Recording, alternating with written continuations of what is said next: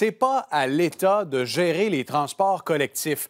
La semaine n'a pas été de tout repos pour Geneviève Guilbeault. La ministre des Transports a soulevé la colère des grandes villes et des oppositions. Puis aujourd'hui, elle a essayé de calmer le jeu. Allons retrouver notre trio, Mario, Yasmine et Gaëtan. Bonsoir. Bonsoir. Je dis, elle a essayé de calmer le jeu. Mario, tu l'as reçu ce matin à ton émission. Euh, la ministre a beaucoup parlé de l'Agence des transports qui éventuellement va tenter de propulser des projets. Est-ce qu'elle aura pris le contrôle de l'agenda, Mme Guilbeault, aujourd'hui? Non, non. Non, c'est une grosse affaire, là. C'est un affrontement avec les élus municipaux qui veulent de l'argent, qui était déjà en cours avant cette semaine qu'elle se place en position de faiblesse. Et euh, je, dirais au mieux, elle, repositionne certains des fondements de sa politique. Puis sur un bout, elle a raison. Au moins là-dessus, elle peut réinstaller ses messages. Mais je veux dire, moi, ce que je retiens de l'entrevue ce matin, c'est quand même une politicienne inébranlable, extrêmement solide. tu peux la questionner. Tu es très, très forte, très, très mhm. solide. Et, et, je la regardais aller, puis je me disais, mais si elle avait eu cette passion, cette conviction cette semaine à la commission parlementaire, plutôt que de regarder l'opposition en disant eh, Monsieur, que c'est plate d'être ici. Si elle n'avait pas eu cette attitude, à mon avis, il n'y aurait pas eu toute la controverse. C'est-à-dire que sa position serait restée difficile. Elle a de l'argent à trouver pour le transport en commun.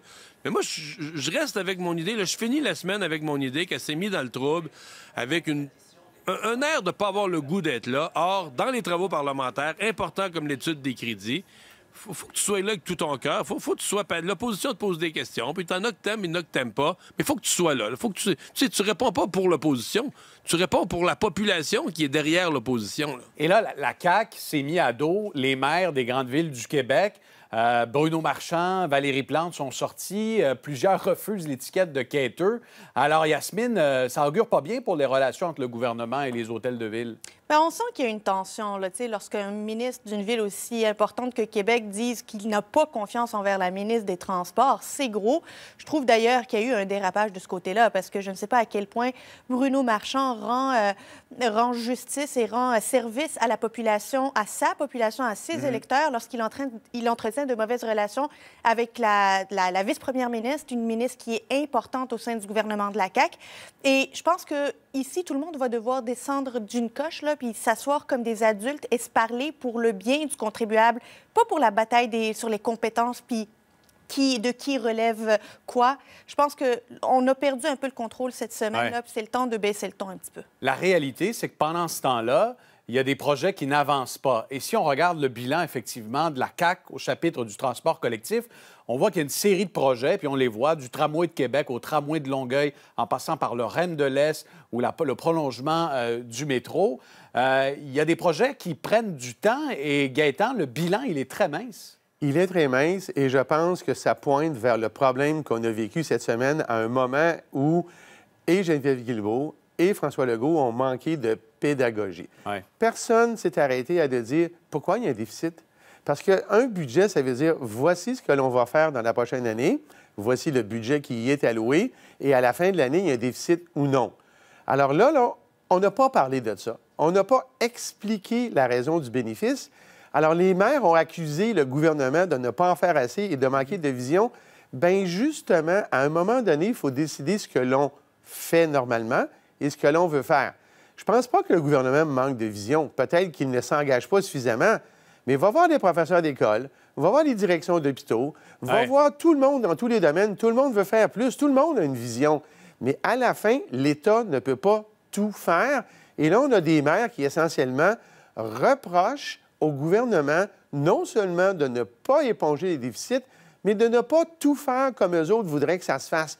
Là, c'est le temps de baisser le ton, comme Yasmine vient de dire, et d'établir ce sur quoi on gère, ce pourquoi on gère, pourquoi il y a des déficits et quelle marge de manœuvre que ça nous laisse comme société à investir dans les dix projets. C'est une réflexion, une réflexion à avoir. Je veux qu'on prenne deux minutes pour parler d'un autre sujet qui a retenu l'attention, le centre d'injection hmm. supervisé à Montréal. Le ministre Lionel Carman s'est rendu sur place et voici ce qu'il a dit à Yves Poirier pourquoi on a fait ça initialement au départ, parce que les gens disent que ça n'a pas de bon sens. Bien, c'était prévu comme ça depuis le début. Depuis le début et l'important, c'est de pouvoir sortir les gens de la rue et que, tout le monde ait un toit sur la tête. Là, on est en réaction, on est en action. Yasmine, toi qui es mère de famille, c'est pas un peu tard pour penser euh, aux façons d'assurer la sécurité des enfants de l'école d'à côté? C'est tellement incohérent et Ah incroyable comme décision. Lorsqu'on réfléchit à la loi sur encadrant le cannabis, par exemple, la loi dit que les SQDC, là, les Sociétés québécoises de cannabis, n'a pas le droit d'être présente. Une succursale ne peut pas être proche de 250 mètres d'un établissement d'éducation. Pourquoi c'est bon pour la SQDC, c'est pas bon pour un centre Ouais. d'inhalation? Voilà. Moi, je ne comprends pas cette incohérence gouvernementale où, où, au nom de la cohabitation, au nom de la mixité, on met nos enfants en contact avec un, un endroit qui va finalement attirer, je suis désolée de le dire, mais des personnes toxicomanes, des personnes qui sont désorganisées. Ça va pas être une belle image à donner pour notre Ouais. jeunesse. Eh, alors, au bout de la ligne, Pierre-Olivier, c'est pas une question de pas dans ma cour, c'est une question de pas dans ma cour d'école. Ouais. C'est ça qui est l'enjeu, là. Et euh, rappelons les faits, là. Il y a eu des consultations. La population locale s'est vraiment opposée au projet à cause des écoles de proximité. Et Projet Montréal et Québec solidaire sont allés de l'avant. On ne peut pas avoir, puis là, je vais prendre une image que tout le monde va comprendre, la place Émilie Gamelin dans la cour d'une école primaire. En même temps, en même temps, le ministre Lionel Carman, euh, Mario, l'a appuyé ce projet-là à maintes reprises et pas plus tard qu'en octobre dernier. Le mal évalué. Oui, parce que je, je- je pense qu'il y a une- aussi une peur de se faire dire là, tu sais, que bon, vous, êtes, vous manquez de cœur. On est dans une époque comme ça, là, Ouais. la tolérance, il faut accepter tout le monde. Oui, il faut faire une place à tout le monde, mais pas au détriment des autres et surtout pas des, enfants. Je pense qu'il y a eu de la confusion. Puis moi, j'ai trouvé ça bon d'une certaine façon aujourd'hui qu'il aille voir sur place, mais il aurait peut-être dû aller voir les lieux euh, avant la décision.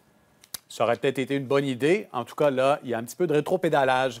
On se retrouve dans un instant, euh, cher trio, parce qu'on va parler de Manon Massé. Paul Larocque l'a rencontré. Elle est de retour après avoir surmonté quelques ennuis de santé.